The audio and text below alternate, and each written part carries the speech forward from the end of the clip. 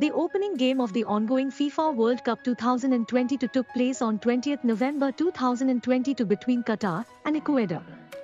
While the hosts succumbed to a 2-0 defeat at the hands of the South American nation, there was a third nation that was also involved in a different capacity.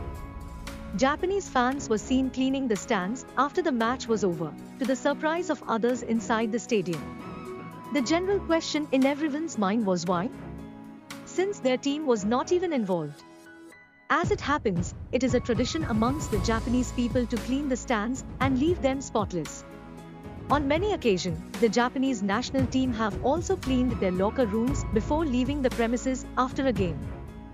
There were Japanese fans, wearing jerseys of their national team, in the stands witnessing the opening game of the World Cup 2022 between Qatar and Ecuador. They left much later than the fans of either team as they were occupied cleaning up the garbage. Another spectator can be seen saying, not for the cameras. For many Qatar locals, this was a rather pleasant and surprising sight at the same time. There were a lot of fans of Japan who were clearing the garbage spread all across the stadium. Furthermore, they also picked up the flags of the national teams from the ground as a mark of respect. As for Japan's men's national team, they are in Group E alongside Germany, Costa Rica and Spain. Their first game of the World Cup is on 23 November 2022 against the Germans. For more updates, follow Sports Chemistry.